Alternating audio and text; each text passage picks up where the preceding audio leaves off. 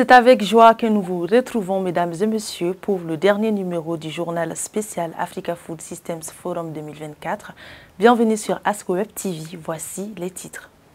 La Côte d'Ivoire expose ses avancées et déficits dans la production alimentaire. Ensuite, nous allons rejoindre M. Ahmad Paté Sen depuis Kigali pour ne rien manquer des dernières nouvelles sur le forum. Clôture de l'Africa Food Systems Forum à Kigali, les délégations retournent avec un bilan satisfaisant. Des retours sur ce plateau, comme annoncé dans les titres, la Côte d'Ivoire, pays très riche en ressources humaines et des terres cultivables, fait face à un problème crucial dans le secteur agricole, ce qui amène le pays à importer 55% de sa consommation du riz contre une production locale de 45%, suivant ce reportage de Vina Bedena. Parmi les activités proposées à ce forum Kigali 2024, le Deal Room a été l'une des plus importantes.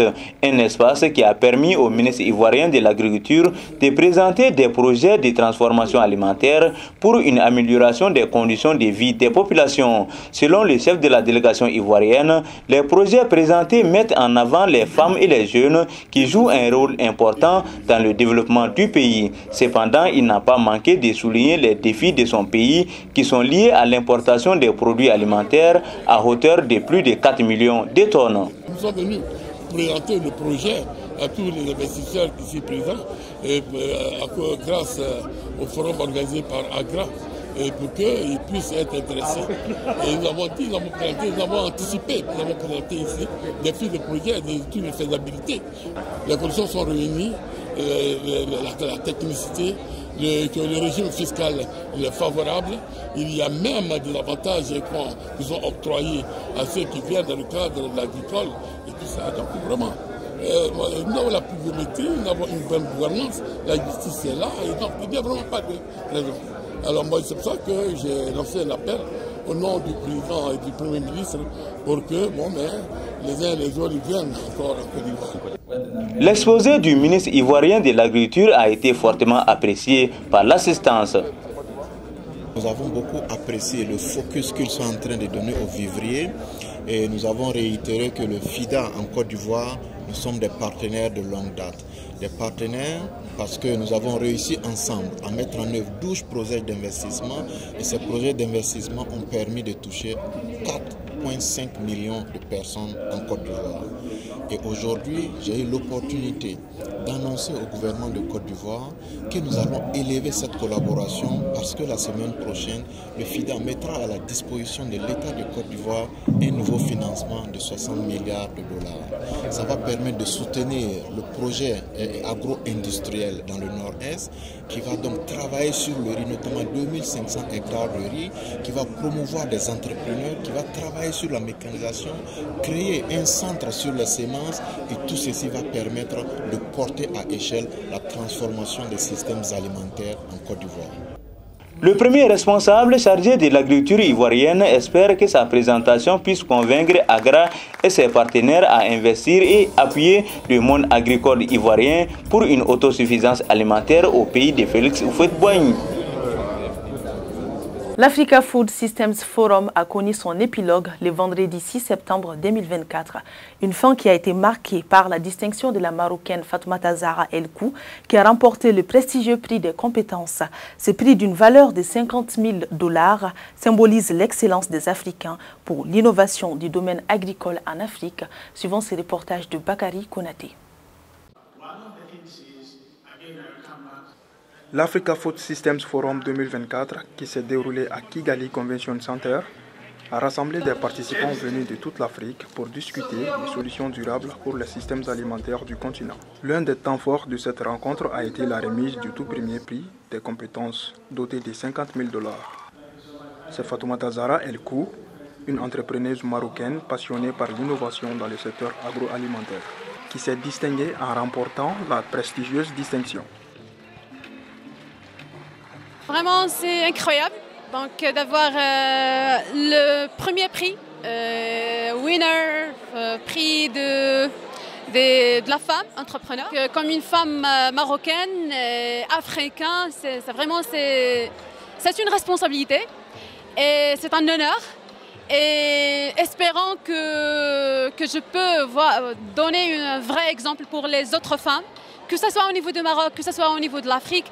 Euh, ce n'est pas quelque chose qui est très simple, ce n'est pas quelque chose qui est simple, c'est de hard work, c'est un travail qui est dur.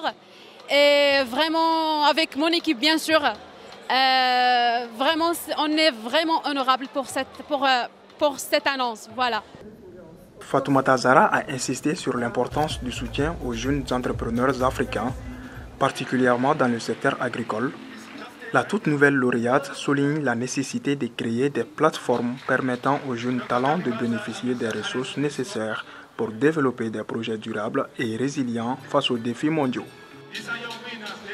C'est un événement qui est remarquable et c'est une responsabilité pour nous. Eh ben, espérons d'avoir vraiment euh, développé toute, la technologie et d'avoir ouvrir notre plateforme euh, à d'autres pays et pour, euh, surtout au niveau de, l'Afrique. on est déjà en train d'étudier quelques partenaires avec d'autres pays et ça nous aide bien sûr à développer mieux la technologie et en même temps d'avoir créé vraiment euh, une vraie dynamique pour l'agriculture et en même temps pour l'agroalimentaire africain. La distinction de Fatoumata Zara au Africa Food Systems Forum 2024 témoigne de l'énorme potentiel qui regorge l'Afrique en matière d'innovation et de développement durable. Son succès résonne comme un appel à d'autres jeunes entrepreneurs africains à croire en leur capacité à contribuer à la transformation du secteur agroalimentaire sur le continent. À présent, nous rejoignons le directeur général du forum, M. Ahmad Patesen depuis Kigali, qui va nous donner les dernières informations sur le forum. Alors, M. Sen, quel bilan faites-vous de cette semaine? Un bilan très positif. Je pense qu'on a amené un beau monde ici. Et puis, on a parlé de politique, on a parlé de direction, d'agenda, on a parlé d'investissement, on a parlé de la promotion des jeunes et des femmes, on a parlé également de l'art culinaire de l'Afrique mais aussi la recherche, l'innovation, les technologies. C'était une belle semaine, pleine, et puis euh, vraiment avec beaucoup, beaucoup de thèmes qui font aujourd'hui donc euh, que l'Afrique, la transformation des systèmes alimentaires puisse être une réalité. Donc on continuera maintenant dans la mise en œuvre et le suivi, et euh, on continuera à l'année prochaine à faire la mesure de ce qui a été fait. Et encore une fois, donc merci à tous qui sont venus. Les chefs d'État sont allés ailleurs aussi pour faire leur rôle. Et donc, c'est vraiment une complémentarité dans les agendas. Nous avons qu'ils sont allés là-bas pour mobiliser des financements, mobiliser de l'expertise. Ici aussi, on a discuté des besoins.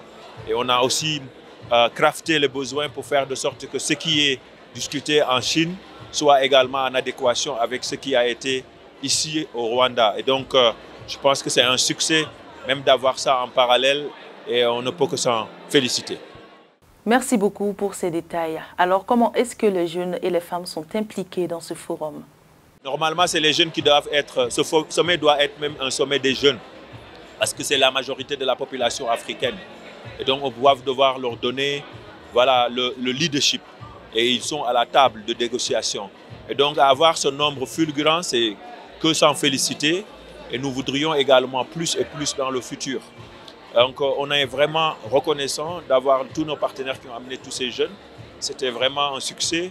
Et ces jeunes-là, tu vois l'excitation, mais également la créativité et l'innovation avec tous ces prix qui ont été awardés, tous ces projets présentés. Et je pense que ce sera le suivi maintenant pour la mise en œuvre de ces projets innovants de jeunes. Ce sommet, on doit l'appeler Africa Youth Food System Forum. Donc vraiment, on est euh, fiers de les avoir et c'est en fait l'avenir de l'Afrique c'est les jeunes et les femmes, l'inclusion, pour faire donc de la transformation des systèmes alimentaires une réalité. Alors, monsieur le directeur, à quand se tiendra le prochain sommet et dans quel pays? Le prochain sommet, c'est toujours en septembre, première semaine ou deuxième, et ce sera forcément cette fois-ci en Afrique de l'Ouest. Nous vous donnerons très bientôt donc le pays qui va organiser et euh, nous vous donnons rendez-vous en Afrique de l'Ouest. Merci M. Sen pour vos éclaircissements. Nous rappelons que M. Ahmad Patesen est le directeur général de l'Africa Food Systems Forum. Les rideaux sont tombés sur l'Africa Food Systems Forum le vendredi 6 septembre 2024 à Kigali, au Rwanda. Ce forum de quatre jours a été riche en partage d'expériences, de rencontres et d'expositions. Les délégations venues des différents pays ont affiché leur satisfaction à l'issue de ce rendez-vous du monde agricole africain, suivant ces reportages de Boubacar Bakayoko.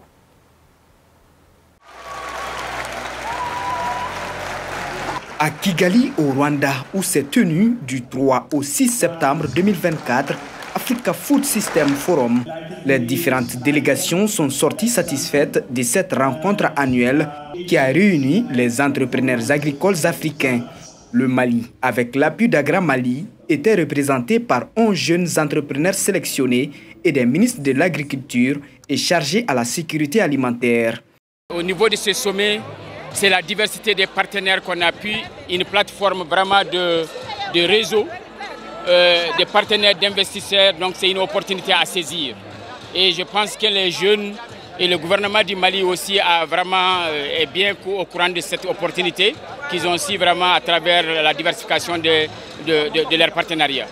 Deuxième grande décision, c'est qu'on a vu que des forums de ce genre sont très importants à appliquer.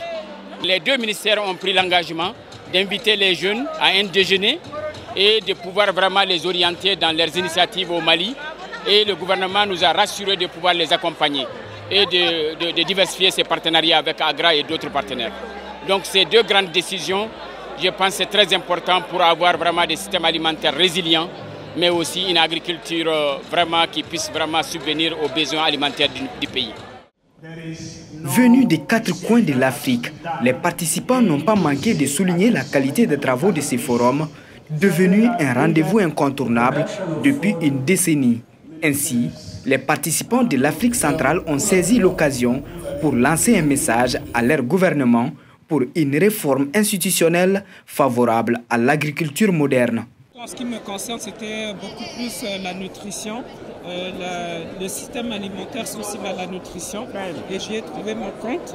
Et euh, sur tous les aspects, la prise en compte des changements climatiques dans le système alimentaire, aussi les financements, parce que c'est ça aussi qui nous fait défaut. On a eu l'opportunité de s'exprimer par rapport au rôle des coordonnateurs nationaux pour booster le processus de transformation des systèmes alimentaires dans nos pays respectifs. and wish you a pleasant stay in our country. C'est sur une note d'espoir que s'est clôturé le forum sur les systèmes alimentaires africains Kigali 2024. Rendez-vous est donc donné pour le prochain forum qui se tiendra dans un des pays de l'Afrique de l'Ouest en septembre 2025.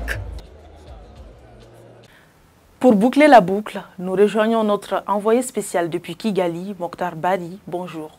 Oui, bonjour. Alors, Mokhtar, les rideaux sont tombés sur l'Africa Food Systems Forum 2024. Que peut-on retenir de ces formidables rendez-vous des acteurs du monde agricole? Oui, effectivement, ça n'est fini pour l'African Food System Forum qui s'est tenu du 3 au 6 septembre dans la capitale des mille collines, Kigali. Effectivement, plusieurs délégués ont répondu à l'appel.